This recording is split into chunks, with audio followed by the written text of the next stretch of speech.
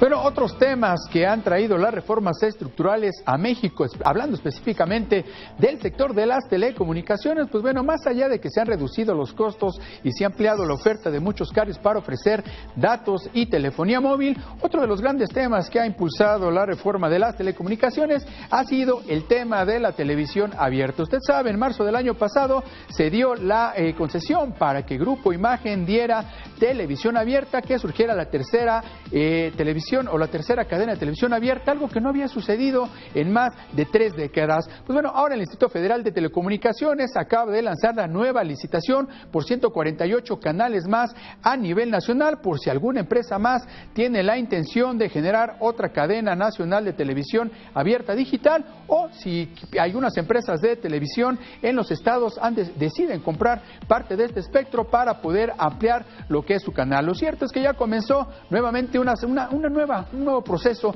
en el tema de una televisión abierta digital, una nueva cadena que posiblemente no se logre concretar, porque ya recordará el caso de la otra empresa que quiso competir y no logró ni siquiera pagar el tema de lo que tenía que dar de contraprestación. Lo cierto es que, bueno, México inicia nuevamente una tercera ronda para ver si esta vez hay una nueva cadena abierta nacional o simplemente se quedan en televisiones regionales.